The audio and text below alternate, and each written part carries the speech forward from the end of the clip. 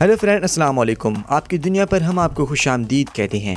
Friend, आज की इस वीडियो में हम आपको बताएँगे कि वर्ल्ड कप 2021 के सेमीफाइनल के अंदर कौन सी टीमें गई हैं और पाकिस्तान क्रिकेट टीम सेमीफाइनल के अंदर किस टीम के खिलाफ अपना मैच खेलेगी। हम ये सब कुछ जानेंगे इस वीडियो में, लेकिन उससे पहले अगर आपने इस वीडियो को लाइक नहीं किया तो प्लीज़ जल्दी से इस वीडियो को लाइक करें और अपने इस चैनल आपकी दुनिया को सब्सक्राइब करके साथ मौजूद घंटी को दबाकर ऑल नोटिफिकेशन भी ऑन कर दें। इससे आपको ये फ़ायदा होगा कि हमारे चैनल पर नए आने वाली तमाम वीडियोज़ की नोटिफिकेशन आप तक सबसे पहले पहुँच रहेंगी।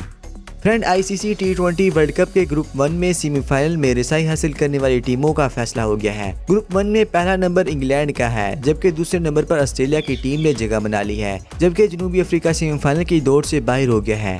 ग्रुप टू में पाकिस्तान पहले नंबर पर है और सेमीफाइनल के लिए पहले ही क्वालिफाई कर चुका है, जबकि न्यूजीलैंड और भारत दोनों सेमीफाइनल की दौड़ में थी, जिनमें न्यूजीलैंड आगे आ चुका है। सेमीफाइनल का पहला मैच इंग्लैंड और न्यूजीलैंड के दरमियान 10 नवंबर को खेला जाएगा।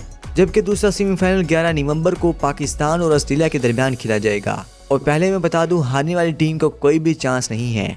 और टी ट्वेंटी वर्ल्ड कप 2021 का फाइनल 14 नवंबर को होगा। और फ्रेंड हमें कमेंट बॉक्स में ज़रूर बताएँ कि आप वर्ल्ड कप 2021 का फाइनल देखने के लिए कितने ज़्यादा एक्साइटेड हैं।